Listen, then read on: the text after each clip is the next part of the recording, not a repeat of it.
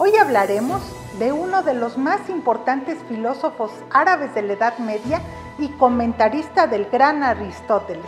Me refiero a Averroes. La enciclopedia Herder nos dice que nació en Córdoba de familia de juristas.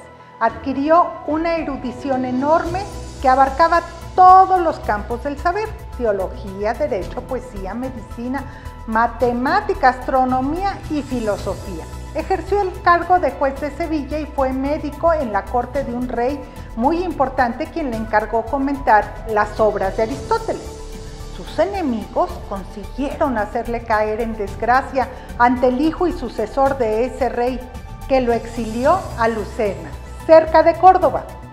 Murió en Marruecos, pero sus restos fueron trasladados a Córdoba.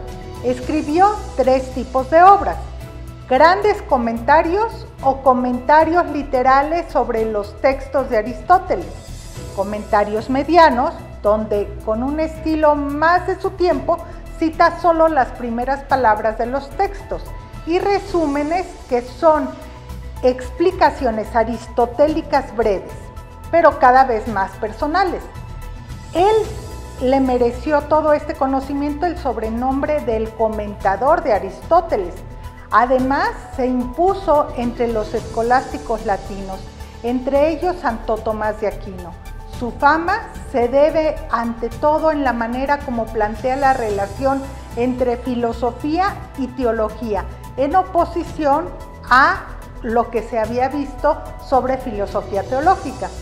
Después de comentar a Aristóteles, podríamos decir que el que con lobos anda, aullar se enseña.